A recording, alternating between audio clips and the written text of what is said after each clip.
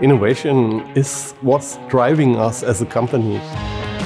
At CID, we combine the robust way of developing software in startup approach in our AI corner.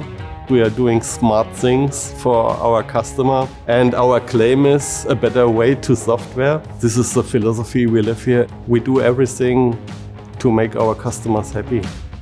We are running virtualization infrastructure since 20 years. Over time, systems got bigger. We experience more and more applications which become slow or show storage latency. And that's an impact on our business.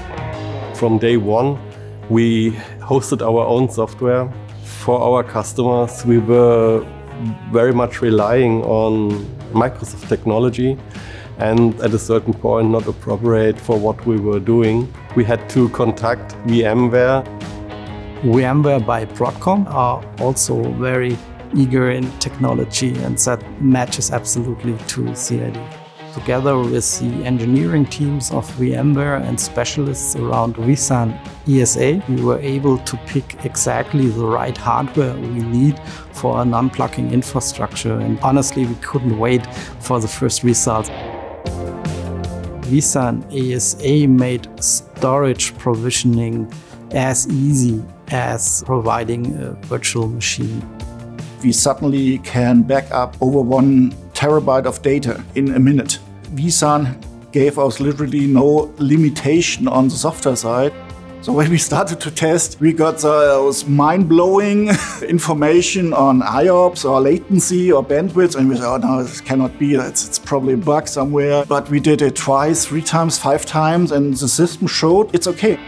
Right now we can totally rely on the performance and the, and the metrics we get. In the past we had to evaluate our storage system every three years. We can scale our installation on the fly. It's about 30% at least what we gain in that kind of uh, scenario.